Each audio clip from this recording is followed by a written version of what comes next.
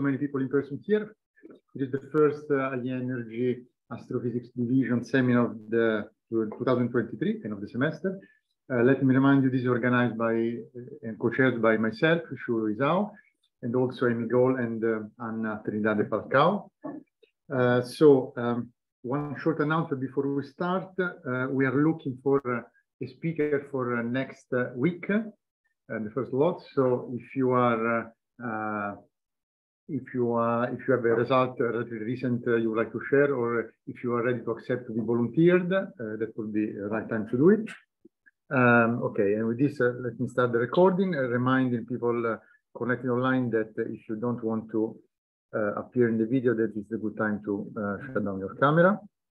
Okay, welcome everybody to our first seminar of Energy Astrophysics of 2023. We have the great pleasure today uh, to uh, host uh, Francis Halzen. will let me introduce him. Um, I'll try to be short, but the list of achievement, achievements is still relatively long. So Francis Halzen is a currently Vilas and Gregory Breit Distinguished Professor, Professor at Physics uh, Department uh, at the University of Wisconsin-Madison. Uh, he's originally from, originally from Belgium uh, and he received his uh, master PhD degree from uh, KU Leuven University in physics in 1972. Um, and has been faculty at the physics department since that time. Um, he was named in 2021 Vilas Research Professor, uh, one of the most uh, prestigious uh, um, honors of this university. he's also fellow of the American Physical Society since 1994 uh, he was awarded a long list of uh, uh, prizes. Mm, let me just mention the 2015 Balzan Prize, the 2018 Bruno Pontecorvo Prize, named after after one of the um, originally um, researcher who spent much of his time uh, trying to understand what neutrinos are. He was also one of the Panisperna, Panisperna uh, with Boys, uh, the group led by Enrico Fermi, who named the particles neutrino.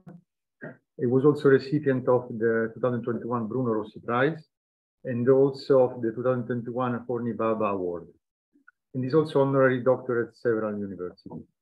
Um, so Francis is probably most famous as a principal investigator of IceCube, a cubic kilometer neutrino telescope buried uh, in the Antarctic ice at South Pole. Uh, IceCube first observations of uh, uh, high energy neutrinos garnered the 2013 Physics World Breakthrough of the Year Award. also in September 2017, many of you might be aware of that, IceCube detected a high energy neutrino from the direction of a blazar called TXS 0506 plus uh, 056. Uh, this was the first ever evidence of a source of high energy cosmic rays, which uh, is very hard to pinpoint because of the magnetic deflection, of course. Um, he's also a skilled science communicator and uh, gives about 20 or more invited talks uh, uh, per year at conferences and workshops. Uh, and he's also a co-author of uh, uh, Quarks and Leptons, a classic textbook on modern particle physics that continues to be used extensively throughout college campuses today. Um, he has, of course, a number of uh, large number of publications, uh, and uh, he has written and edited several other books. Um, today, we are very happy to have him here, and we talk about IceCube, high energy cosmic neutrinos, and their uh, their first sources. And with that, uh, Francis, I think uh, the floor is yours. Thank you so much. Thank you very much for this kind introduction. Uh, it's a great opportunity for me to be able to present the latest IceCube results uh, to this audience. So you see the outline of the talk. I will introduce IceCube briefly, and then I will talk first about the diffuse neutrino flux that we observed in 2013, as you mentioned, and it contains two big surprises. We don't see our own galaxy, and uh, we find out that neutrinos are produced in very, very large, uh, with very large fluxes that point that they are produced in uh, sources that we actually don't see in gamma rays. Then I will talk uh, about the observation of the first sources. TXS is one of them. And uh, that those observations actually confirm what we conclude from the diffuse flux. So, um, ah, my screen doesn't move. I don't, why it's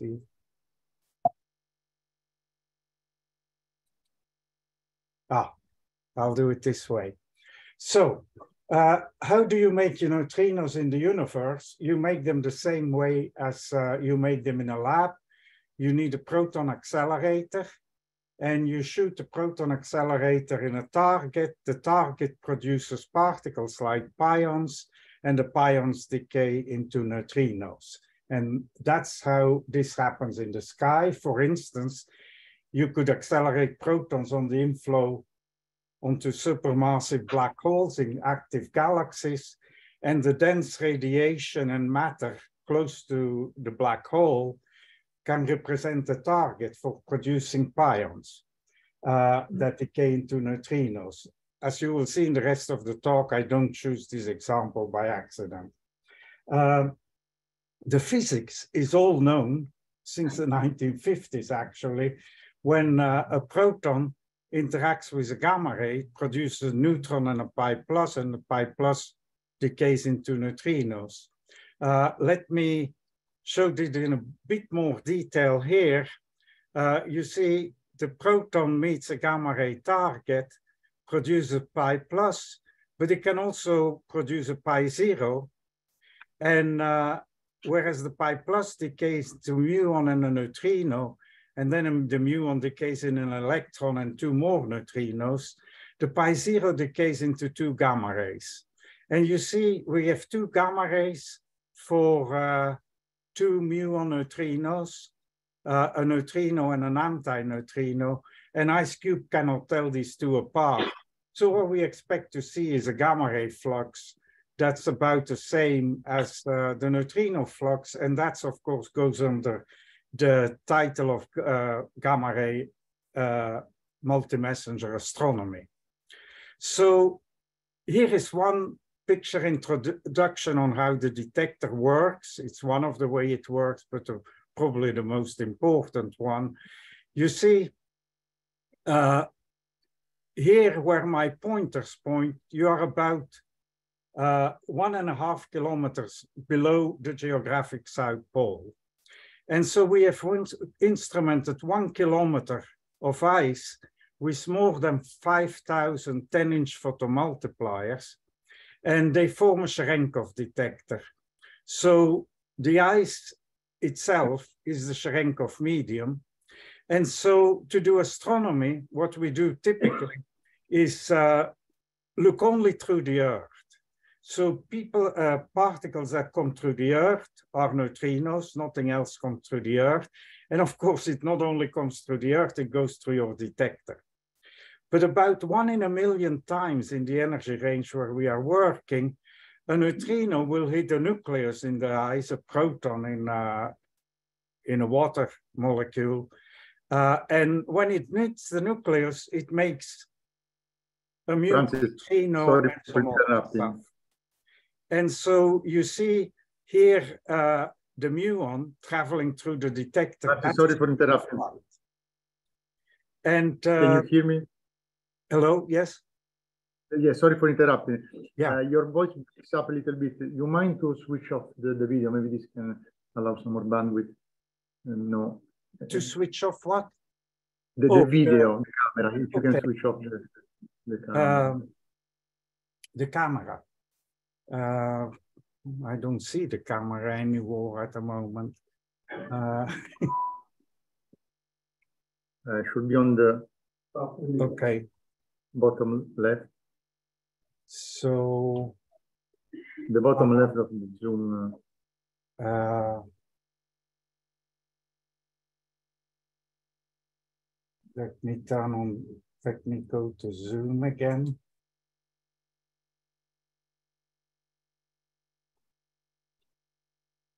Um,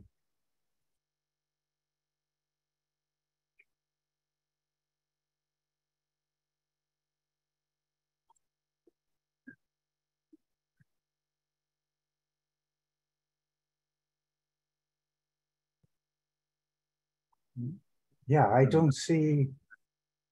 If you go to the Zoom window, uh, so that's the PowerPoint. But you may, it may help if we stop sharing for a second. Yeah, I think I cannot turn off my uh, camera if I'm not sharing. I'll stop sharing. Now I can turn off the video. Okay, is that? Then, so now yes, I'll share the now it's screen yeah. again.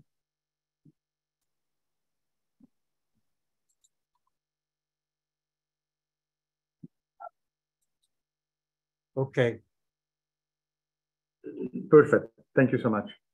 okay, hope this works better. So as I said, you see, uh, it produces a muon, the neutrino, that uh, travels at the speed of light through the detector. And uh, the radiation it emits, the Cherenkov radiation it emits, uh, is picked up by the photomultipliers. And uh, you can see by eye the direction of this muon. We can reconstruct it to about 0.3 degrees at high energy. This is a, a movie of the event in case you didn't get it. So that's the muon traveling through the detector. So I'm going to first talk about the diffuse flux we discovered in 2013. And the most obvious thing was that uh, unlike in other wavelength of light, uh, we didn't see the nearby sources in our own galaxy. We saw an extragalactic flux. This extragalactic flux we, we have by now detected in many different ways. So let me first talk about uh, tracking muons coming through the Earth. You see here is the number of events. This is nine and a half years of data as a function of the energy of uh, the neutrino. And you see here, uh, the threshold of the detector is about 100 GeV.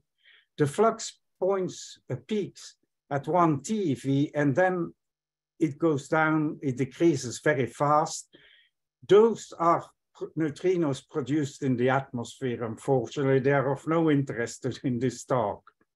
But we see when we reach about 10 to the 5 GeV, 100 TeV, you see, we see an excess over the atmospheric flux, which we measure and we can calculate. And that excess is the component, our neutrinos re reaching us from beyond the atmosphere and beyond the solar system. Uh, they represent an extragalactic flux.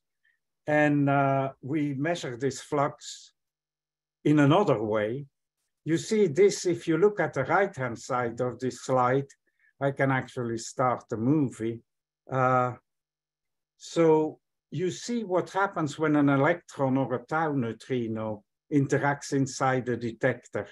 It makes an electron, for instance, and the electron will make an electromagnetic shower in the ice.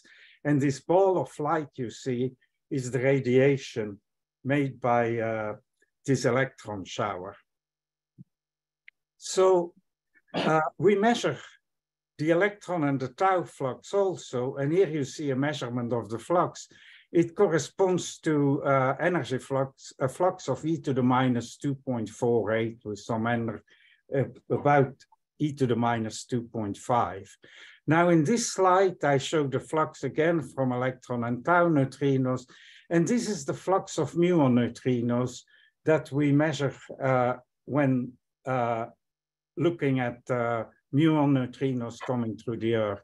So these are compatible. The muon flux is a bit uh, flatter, but in the end, we see something, all the analysis we do find something close to e to the minus 2.5 and compatible with it. There are other ways. We have looked at tau neutrinos. We detected a Glashow event. The Glashow event by itself is interesting. Here you see it's a tau, uh, it's um, it's an event where an electron neutrino doesn't interact with a proton, but it interacts with an electron, an atomic electron, and it makes a real W, the weak intermediate boson of ATGF. And uh, so given that we know the cross-section for standard model cross-section, uh, we can calculate the flux that correspond to one event, and it's again compatible with the flux I showed on the previous slide. Uh, so here I show this flux again, but I show it in a very uh, unusual environment. You see what I show here is the extragalactic, the EBL, the extragalactic diffuse flux in light from radio to CMB, going through different wavelength to the visible, X-rays. And here, of course, you know that uh, the one of the reasons for doing neutrino astronomy is that the universe at some point become obscure to gamma rays. And so the, this is the gamma ray flux that eventually gets absorbed in the microwave background. And it looks, the flux I showed you before, it looks like actually that like it exceeds the gamma ray flux, which is really surprising.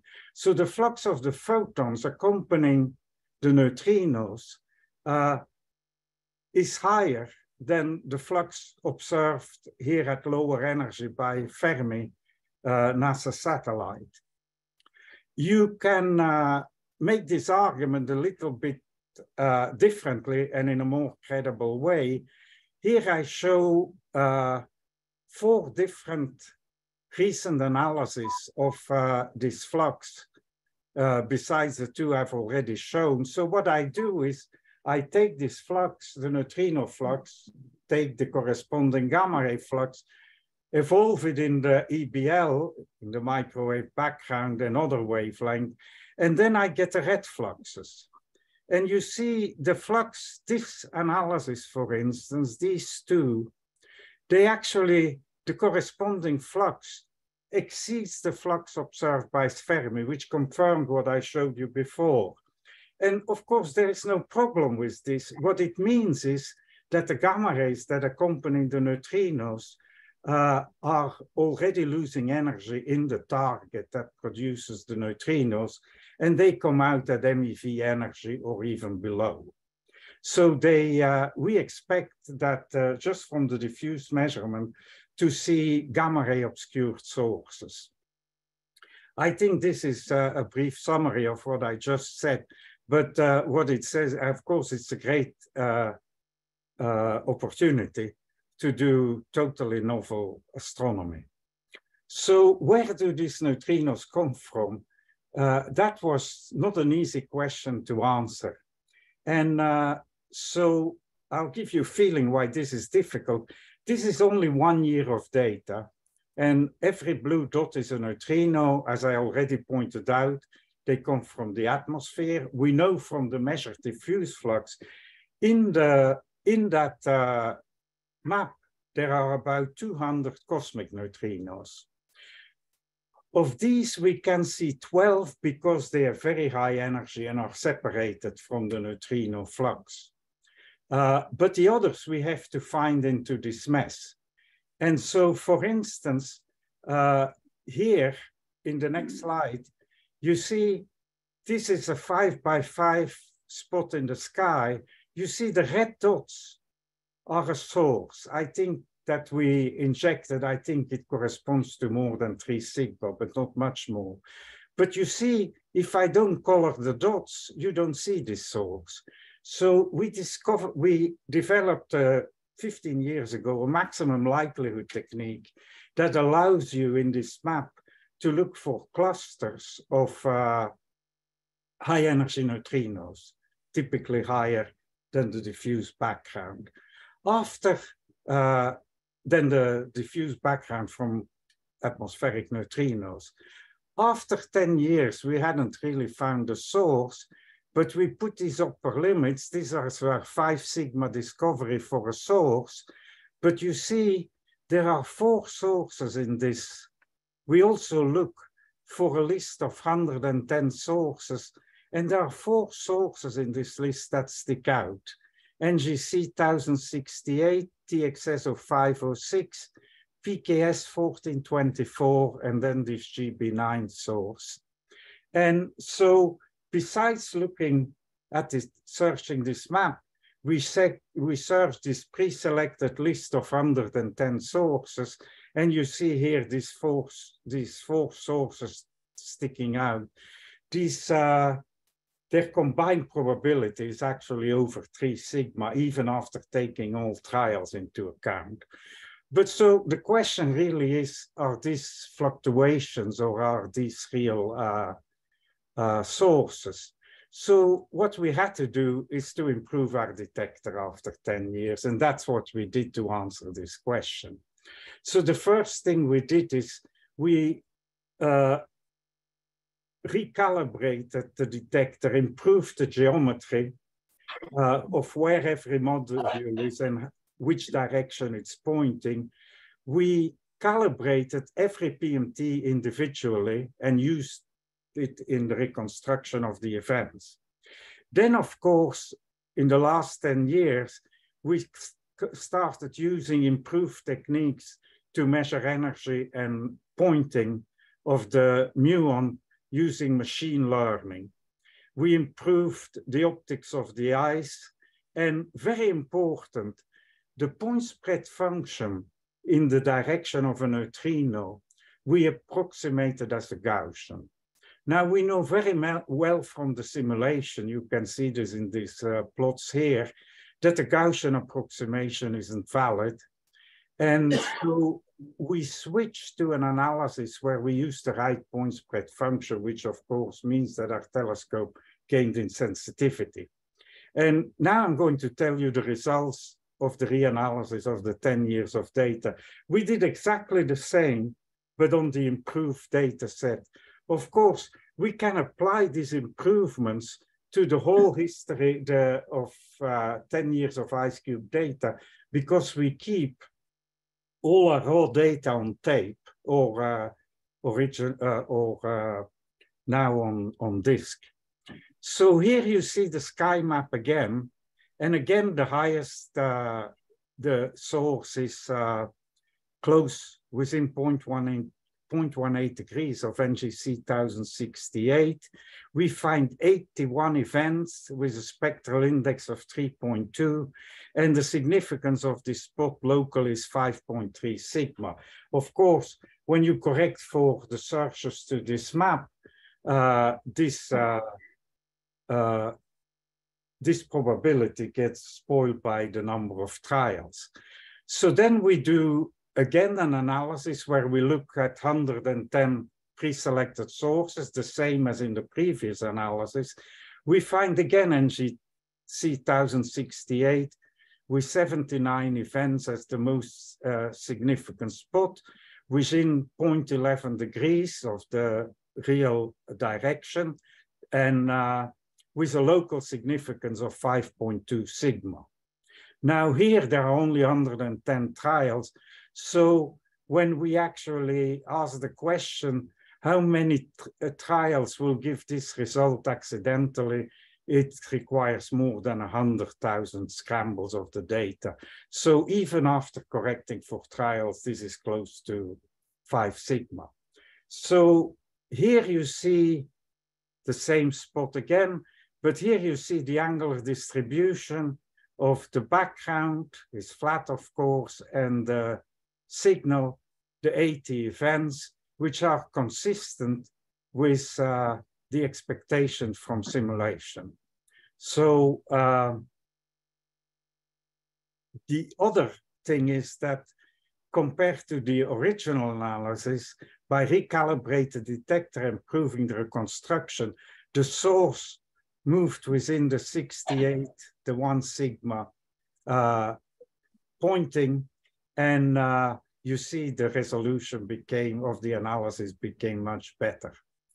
So we did this analysis actually three times, once with a free spectral index, once with a spectral index of two, and here with 2.5. And you see, uh, these are the sources that appeared, and besides the source, uh, source appeared as the fourth source in this analysis, NGC 4151.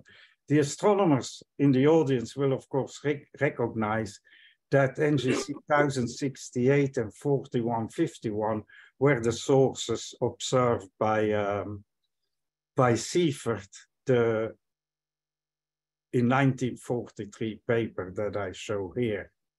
Uh, the second source in this list, you see TXS of 506, that's a source we already knew about. It was uh, detected as a follow-up of this IceCube alert, the 300 TeV neutrino, almost certainly cosmic, that pointed at this source with 0.06 degree precision. Uh, and that was uh, not only in the direction from TXS, but TXS was flaring at the time. Now, the accidental probability of this is, is uh, you know, three sigma, it's one in a thousand. But what followed afterwards is what made this source real, besides seeing it at more than three sigma in the time-independent analysis I just described. And it was discovered to be coming from a TV blazar when MAGIC looked at the source. In fact, 22 telescopes looked at the source, including a robotic optical telescope, MASTERS, who was on the source after 73 seconds. We sent the alert after 43 seconds. And uh, so the other meaningful uh, important fact here is DISA is the multi-messenger publication. You can read about that. But looking at our archival data, now having a specific direction to look, we saw this in our previous nine and a half years of data. And you see here this huge flare. This is not a flare I've been talking about. This is the 2017 flare dominated by this one neutrino. This is a flare starting in 2014, and it's responsible for most of the flux of the source uh, in the last nine and a half years. It has an e to the minus 2.2 spectrum, Eddington limit luminosity, and again, as already suggested by the diffuse flux, there are no gamma rays detected uh, on top of this flare. Uh, we can discuss whether any were actually discovered in 2017. Another interesting result that came afterwards, besides the IceCube result, is are the observations of this master optical telescope. It actually detected an optical flare two hours after the neutrino. So the source went from off to on two hours after the neutrino was uh, detected. And you see the, the blue, green, blue spots here are the measurements master made on this source. And nothing happened to this source except the one flare starting two hours after the neutrino. They claim this has a significance of 50 sigma. Maybe something happened also at, uh, at our first flare, but that's less significant. But this uh, is an illustration how you can do multi-messenger astronomy in the time domain and get significance. So I think between uh, the many discoverings of TXS, this is probably undoubtedly our second real source beside NGC. Let me conclude by coming back to NGC and uh, show you the IceCube data and two models fitting it. And here you see the fact that also NGC uh, MAGIC looks at the source and the gamma ray flux is like two orders of magnitude smaller, if anything, than the neutrino flux observed. So it tells us that the neutrinos are produced in an active galaxy in a place where photons don't escape. And of course, this can only be in the region close to the black hole. Uh, so where you have the accretion disk meeting the black holes, you have not a lot of opportunities to uh, accelerate protons and electrons, uh, but you accelerate them in what's uh, called the corona. Here is a, simplified picture of this, which is known to be obscure to gamma rays and also has a very high density in matter. So you can actually produce the neutrinos on protons or on the gamma rays. One gives you neutrinos of 10-ish TeV, the other gives you uh, neutrinos from 100 PV. But independently, if I calculate the density of this source, if I calculate the opacity of this source to protons, if I produce protons in this corona, the proton, the opacity to protons uh, for interacting with the gamma rays is of course given by the X-ray flux in this case, uh, by the inverse of the radius, the smaller the radius of the, the bigger the flux. And so you see this, this number is 100. Uh, I worked this out for just spherical geometry. This is just dimensional analysis. And you can see that in for this to be of order one, so that the protons produce neutrinos, are for the param for the flux measured from NGC 1068 cannot be much larger than 10 Schwarzschild radii. So neutrinos are produced really near the core of, of these active galaxies. Of course, if tau p gamma is one, the gamma gamma opacity of, is is thousand times smaller. It's just the ratio of the cross sections with some kinematics. And so there's no way gamma rays can indeed come out, but the opacity to the protons is large enough to produce the neutrinos.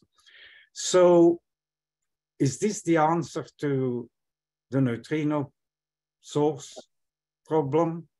And of course, as we are only looking at proton sources, is this the solution to the cosmic ray problem 100 years after their discovery?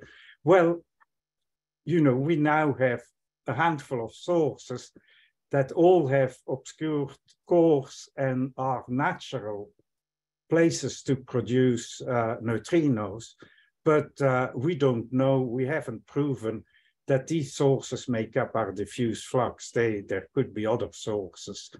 And so I conclude at this point, and the important conclusion for this uh, talk is actually that neutrino astronomy exists. We had no clue whether you could do neutrino astronomy with a kilometer cube detector when we built it. What's also clear from this talk that we need more neutrinos we need more statistics, we need a better angular resolution. And that's happening. At the moment, there are plans to build neutrinos, two in the Pacific Ocean, and uh, one is under construction in Lake Baikal and one in the Mediterranean. So this is going to happen. And so that's the good news. And I think the, the, the conclusion I want to leave you with is that after all this time, we probably, it looks like we have found a way to finally solve the cosmic ray problem with IceCube and with the forthcoming detectors. Uh, of course, IceCube itself will has plans to build a larger detector. Uh, I, of course, didn't do this work by myself. And I like to show you a picture of all the young people that produce most of the science I talked to you about today. Thank you for inviting me. Thank you so much.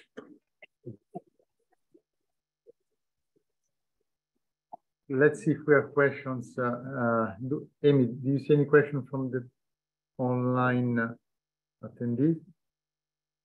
Um, I don't see any hands raised at the moment. We'll give um, a chance while you go to the in person. I'm starting walking around with the questions here. Okay.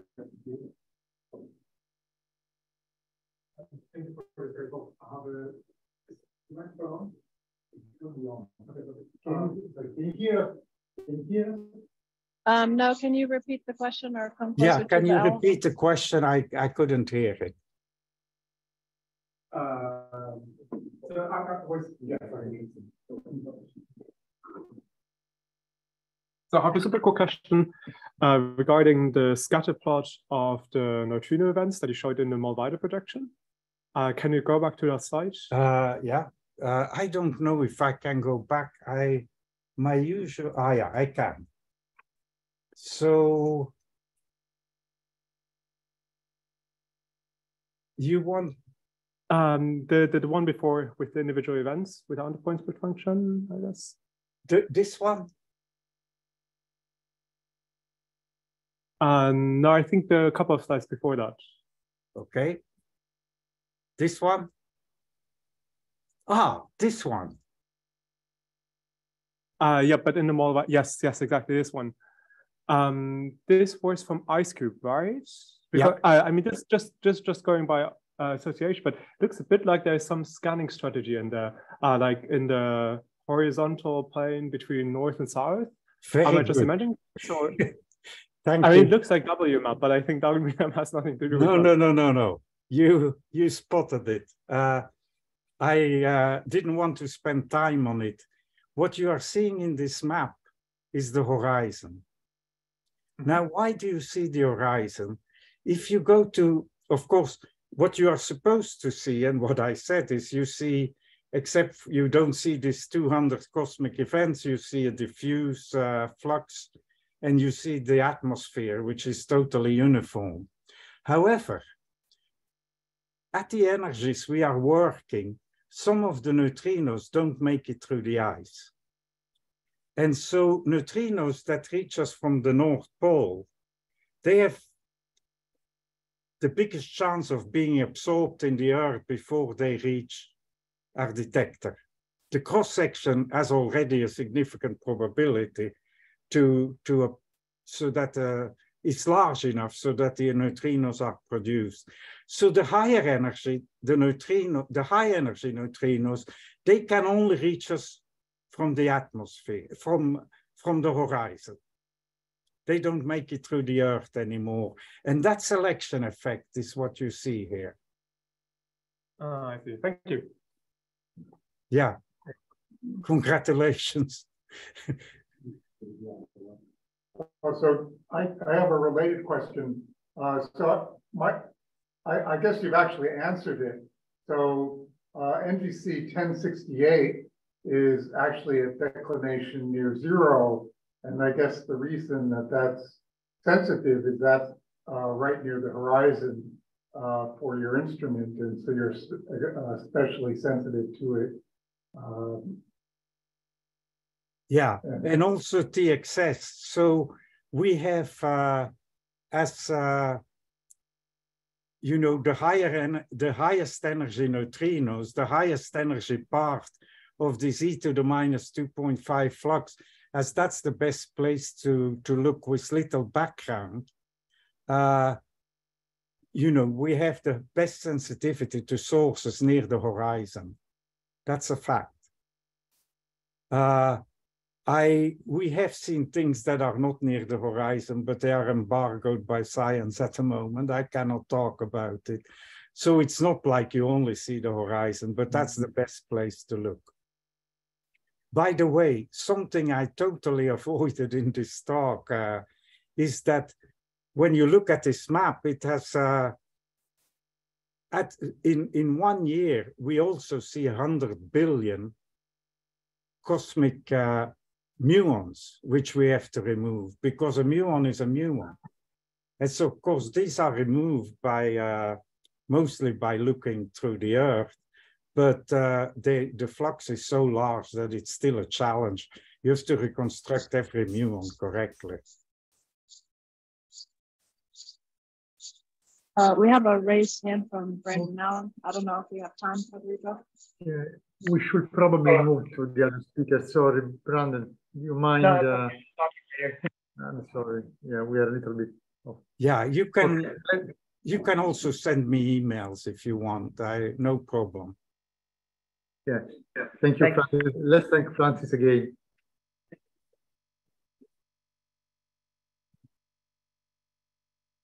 Okay, let's move now to the second speaker of the day.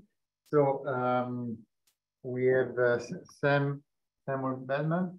So he's uh, uh, since last September postdoc here at SAO, uh, working on the Parker Solar Probe uh, Solar with Electrons and Alphas and Protons uh, for short SWEAP team.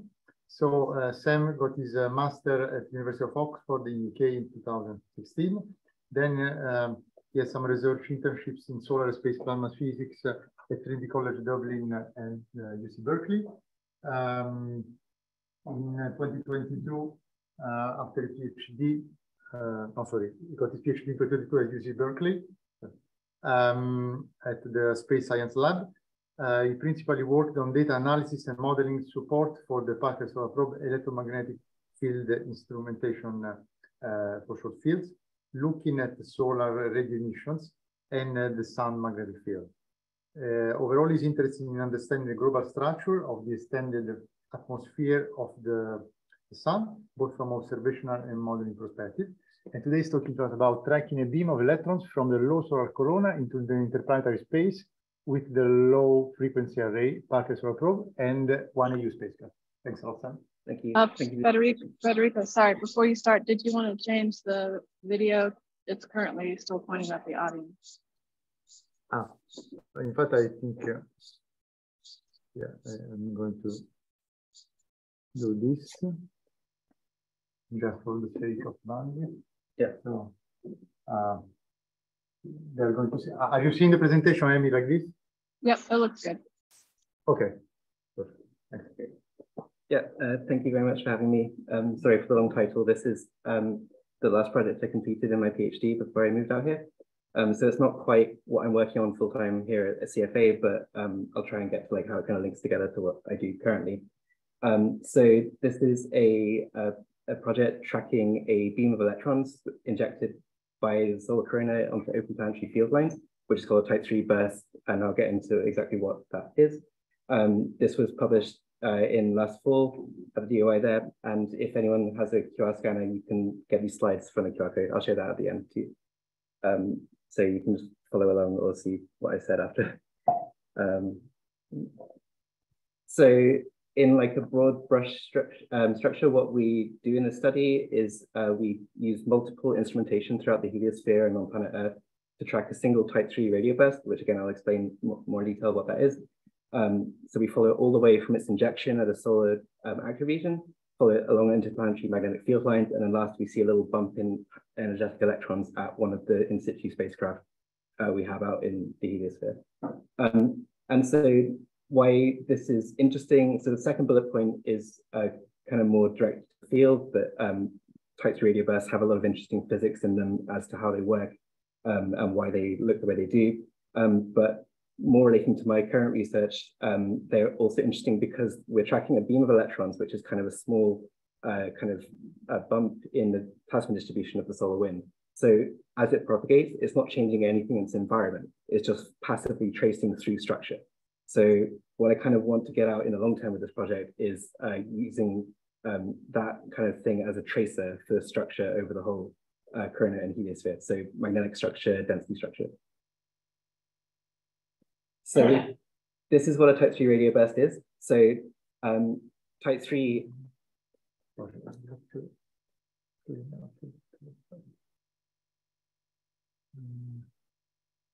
Disable annotation? No.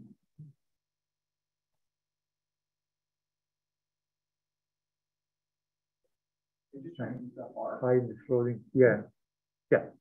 Okay, yeah, so a type 2 radio burst is um, in kind of measurement terms, a radio signature, but it's caused by an energetic electron beams injected at the sun, um, specifically onto open field lines. And so um, this beam usually comes out at a good fraction of the speed of light, 0.2 or so, not highly relativistic, but still quite energetic.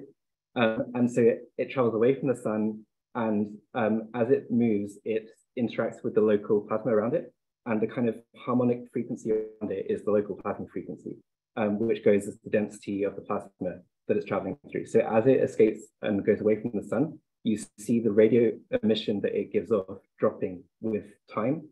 Um, and that's basically telling you what density the electron beam was in when it emitted those radio waves. So that gives you the um, the kind of experimental signature we see. So when we um, make a radio spectrogram, which is where we have time on the x-axis and frequency on the y-axis, so every column is a, is a spectrum, um, then that uh, that makes basically a swoosh shape, like a, a, sweep down in frequency from high frequency to low frequency in time. Um, and these are one of the brightest radio thing, radio um, radio uh, kind of uh, radio phenomena that you see at least um, at low frequencies. Um, but you see it continuously from up in gigahertz range, uh, where it's in the corona, um, all the way down to kilohertz, where it's reaching out to like plasma density around 1 AU. So the goal of this project is to track one of these bursts.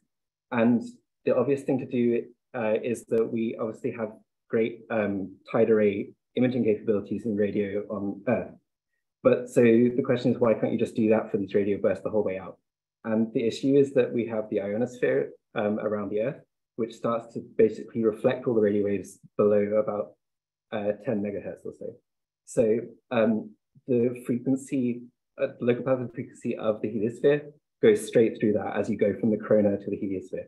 So in the corona where you're up in like gigahertz plasma frequencies, those radio waves come straight through to us and we can see them from the ground. And so that's the first part of the study I'll show. But as soon as you're into interplanetary space, you don't have any access to those radio waves from the ground. So you have to use space-based instrumentation. So in this study, we used four different instruments. Um, so one is a ground-based radio observatory um, based in Europe called LOFAR. Um, and that can observe, um, we observed it basically in the 10 to 90 megahertz range. And so that was how we got at the coronal um, location of the burst. But then to get out into interplanetary space, we use space-based radio spectrograms. Um, there are three specifically used in this project. So one is the Wind spacecraft, which was launched in 94 or 95, and it's the Earth-Sun L1 point. Um, the other one at 1AU is Stereo A, and I'll get back to that because that's where the electrons basically end up from the beam. They basically arrive at stereo at the end. And the third piece of the puzzle, and the reason that I'm funded at CFA, is Parker Solar Probe, which was a, a new NASA heliospheric mission uh, launched in 2018 and you can see its orbit is very different to everything else. It goes very close to the sun. Um, the instantaneous snapshot I'm showing you here is basically where these spacecraft were at the time of the burst that I'll show.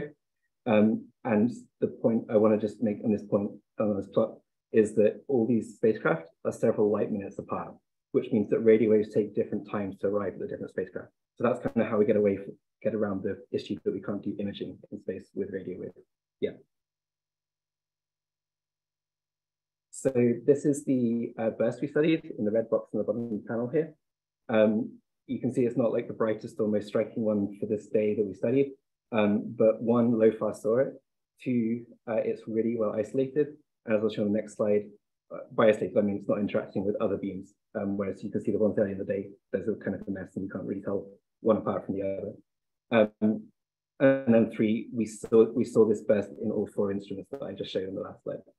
Um, we also have a good reason to suspect we know already what region on the sun caused the beam, um, because there's basically only one region of solar activity on the sun at the time. Um, okay.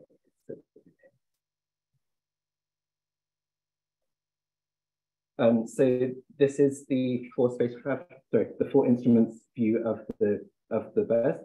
So um, LOFAR sees it at high frequencies, so 20 to 60 megahertz there. And you can see that you can follow it nicely from that instrument into the Parker Solar Probe measurements, where we've shifted it in time to take account for the fact that the light waves arrive at PSP because it's closer to the sun, closer to the beam. And then the other two spacecraft out of what are you, they also see it. Um, you can see that the most recent spacecraft has the best time resolution. Um, come back to why time resolution is important. It basically limits the accuracy of what I end up doing. Um, so uh, yes, the LOFAR there at the bottom these three interplanetary spacecraft. Um, and so these are really far apart in the heliosphere, but they're all sending radio waves coming from the same point initially. Um, and then the other thing to point out is that there was no X-ray uh, flare related to this. So this wasn't a electron being injected by anything that caused X-rays. It must have been another kind of uh, X-ray quiet magnetic reorganization in the attribution that we look at. So there are three parts to the study. Uh, one is the coronal part where we're imaging it down in the corona with LOFAR. And the second part is where we're using the fact that these spacecraft are multiple light minutes apart from each other to basically um, triangulate where the source is and how it's moving into planetary space. And then lastly, you get basically a single data point out at one AU when the electron beams arrive at stereo. So this is what we get from LOFAR. Um, so uh, the middle plot there shows um, the solid disk with um, potential field magnetic field lines. Um, and then the centroids, which go from blue to green, are um, images of the radio source for this event. And from blue to green, you're going from higher to lower frequency. And what you see is that the burst is moving, um, sorry, this electron beam, the electron beam is moving up and away from the sun. And if we um, model the density of the corona, we can get the third dimension out of that. So that's just a 2D X and Y plane of the sky image. Um, but we can get a 3D position by, uh, by using a density model. And in that case, we can make basically this nice 3D visualization of how the source is moving. Um, and what we see when we do that is that it's coming from open magnetic field lines, as we expect for type 3 radio. Um, and those field lines map down really nicely to the uh, source active region that we saw was the only one on the sun at the time. Um, so this is the coronal part. And as soon as you get much further out than this, your frequency goes below the ionospheric cutoff, and you don't see any radio waves on the ground anymore. So that's when you have to turn to space-based instrumentation.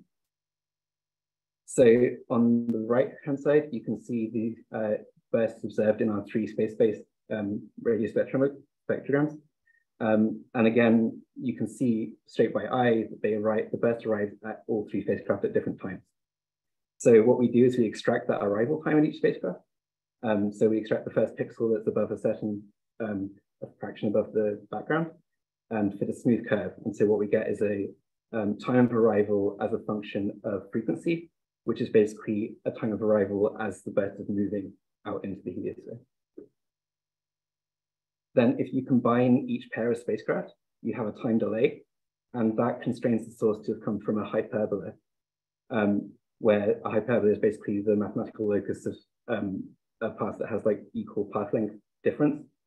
Um, so one pair of spacecraft gives you one of these hyperbolae. If you have three, that's enough to intersect the hyperbolae together, and that gives you a single source position.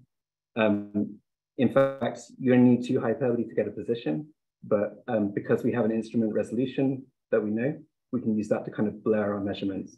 And then that gives us like a thickness of the hyperbola, and the intersection of all three of those then gives us an estimate of our error region. Um, and just to come back to the time resolution thing, the limit here is the fact that this spacecraft Wind, uh, we only have a timestamp every 60 seconds. So that basically puts our localization error at around a light minute, which is about 0.1 AU. So it's pretty big in the of things.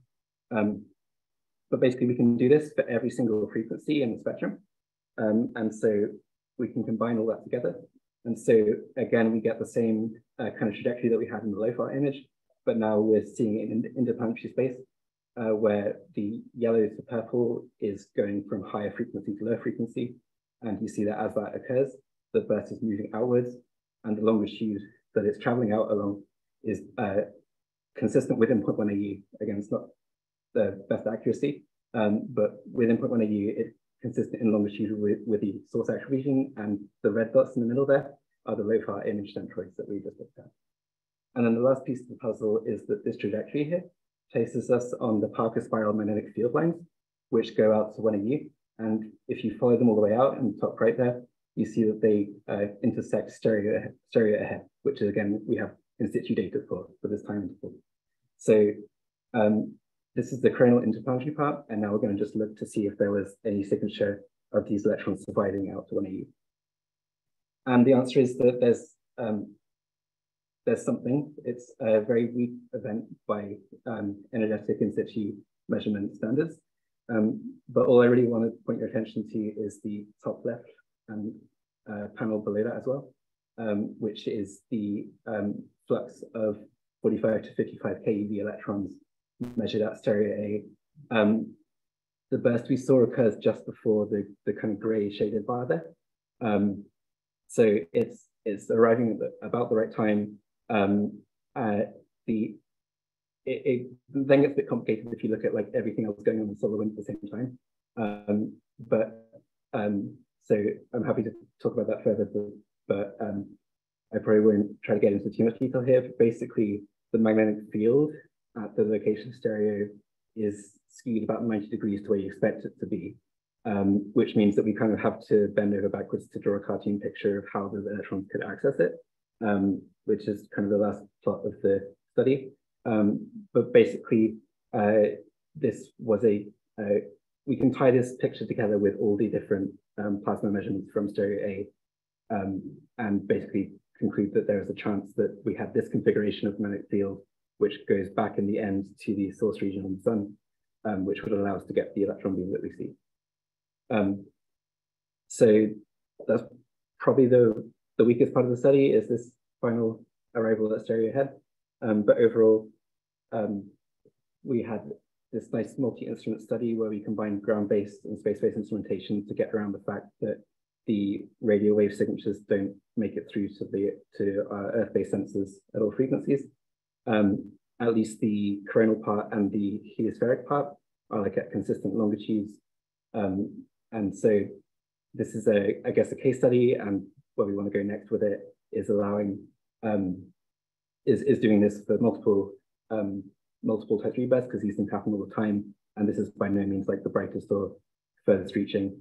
Um, one other thing I kind of slid on the rug is that to um, make that hyperbolae intersection plot, I was assuming that the burst was located in the ecliptic plane, which um, is a limitation when you're working with three spacecraft. But actually, since 2020, we have an additional spacecraft out in the heliosphere called Solar Orbiter. And so we actually have the capability now to do this with a four-point measurement, which means that you don't have to assume that. You can go and do it fully in 3D, where you're intersecting hyperboloids instead of hyperbola. Um, so, um, so yeah, so I um, the study is basically a proof of the proof of concept of the uh, techniques we use. Um, and so I want to be able to use this to actually like say that our trajectories that we derive are measurements of the magnetic field lines that the, the are traveling along, um, which is uh, has the potential to be quite powerful because we basically have no other way of measuring a single magnetic field line all the way from like zero to one AU. Um, so uh, that's kind of the goal of this way. Um, that's it. Thank you. Thank you so much. Um,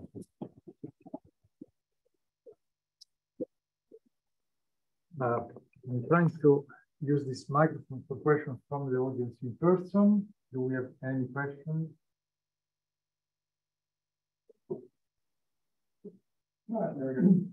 Uh, uh, you talk about an electron beam, in fact if you see a fairly narrow range of frequencies within time means it's more like a bunch of electrons.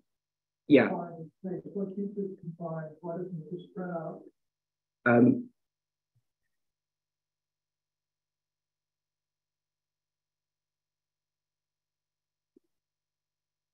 I can't remember the exact physics behind it, but I believe it's the the most energetic because there's also velocity dispersion of the beam itself. I think the most energetic beams electrons lose energy fastest and they become they move into like the center of the beam.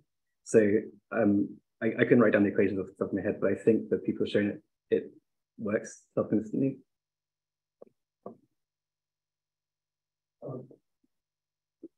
So is it a, uh, is it an, actually a current?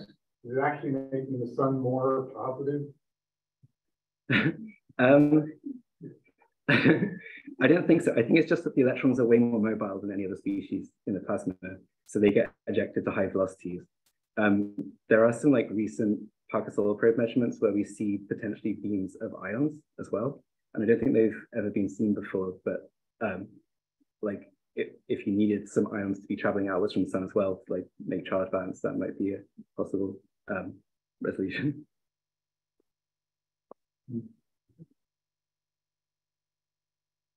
Um, you commented that the identification of the event at stereo was kind of the weakest part of the study.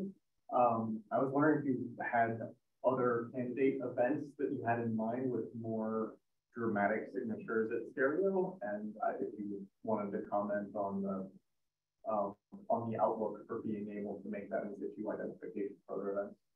Yeah, so the, so the most unambiguous signature in situ is Langmuir waves, because those are kind of the intermediate state between having the electron beam and having the radio waves generate.